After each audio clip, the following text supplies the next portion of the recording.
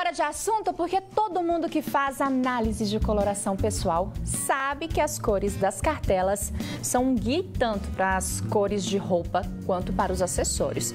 Especialmente, ó, os brincos e os colares, que são os que ficam perto do rosto. Só que nem todo mundo gosta de acessório colorido. Então é importante saber o metal ideal para valorizar aí a sua beleza natural. Por isso que hoje o nosso bate-papo é sobre o tipo de material que cada pele aceita. Mariana Cotini, consultora de imagem e estilo. Olá, muito boa tarde. Boa tarde. Tudo bom, Lu? Tudo ótimo e com você? Tudo bem, também. Então, bora lá, né? Bora Falar de lá. cor de metal, porque tem muita gente que é adepto do dourado, que é o Isso. meu caso.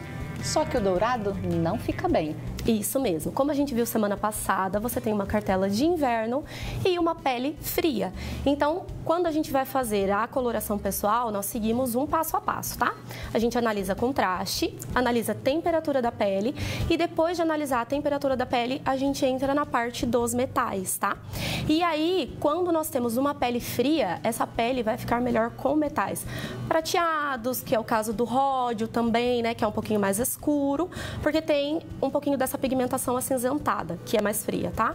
E quando nós temos uma pele quente, a gente vai colocar acessórios dourados, rosé, o cobre, O cobre. né? Porque tem essa pigmentação mais amarelada, que são de peles quentes. A gente, inclusive, tem um vídeo da nossa repórter Mariana Ih, Perucci, que também tem a pele fria. E olha só, gente, a pele dela no dourado e no prata. É. Olha a diferença. A diferença, então a gente percebe que a pele dela no dourado, ela não tem esse equilíbrio, esse balanço do branco, né? Que quando a gente vê na foto acaba destacando muito mais. E com o prata, a gente já percebe que a pele dela fica muito mais uniforme. Então vai acabar disfarçando as manchinhas, olheiras, né? Marquinhas de expressão, acne. E isso serve, né, tanto para roupa, porque agora tá vindo com uma onda muito forte as roupas metalizadas, o paetês, paetês, né? As roupas de paetê. Isso. E também na questão dos acessórios. Então, quando, por exemplo, você for pôr um colar, quanto mais, mais grosso for esse acessório, mais ele vai criar esse efeito no seu rosto, tá? Tem um vídeo, inclusive, da Mariana que foi feito aí. Sim.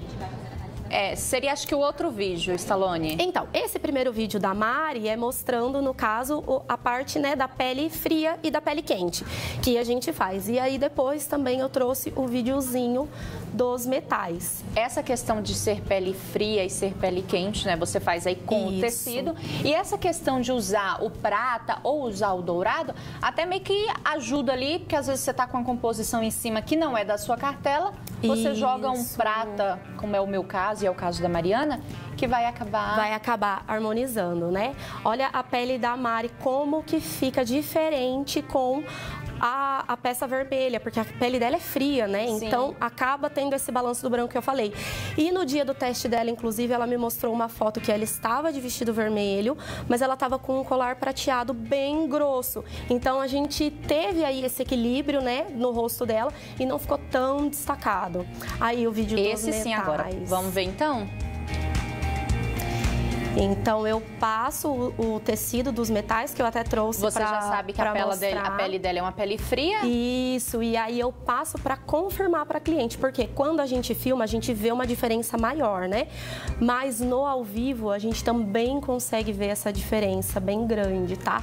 Então, aí eu sempre vou explicando, né, mostrando, e aí olha como fica mais iluminada a pele dela, fica mais uniforme, a olheira vai sumindo, as manchinhas vão ficando, né, mais disfarçadas também. Então, os acessórios, eles têm um poder assim muito grande na nossa imagem. viu? Inclusive, a gente, como o vídeo ali tá acelerado, a gente não tem som, mas a gente consegue perceber que ela, Sim. ela percebe a diferença. ela mesmo fala: Nossa, não ficou bom com o dourado. Então eu gosto de passar porque muitas vezes a cliente tem uma preferência pelo acessório dourado ou pelo prata.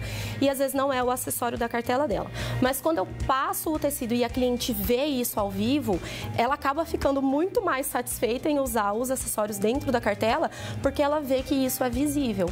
E claro, né, como eu sempre falo, a cartela de cores ela não vem para te limitar, ela vem para te libertar. Então, depois do teste, eu também ensino a usar os acessórios fora da cartela.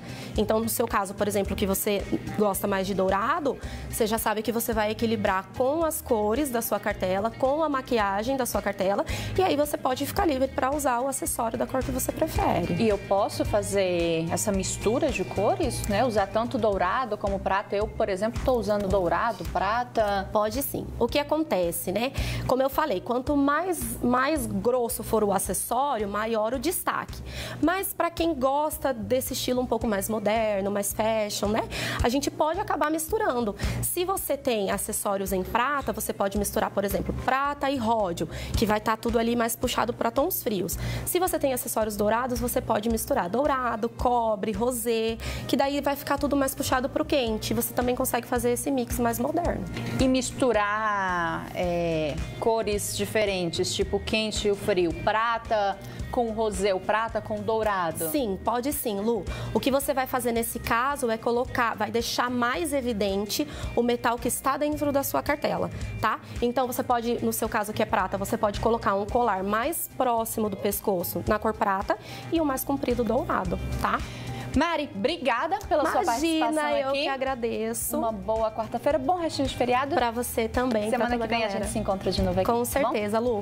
Um beijo, beijo. até mais.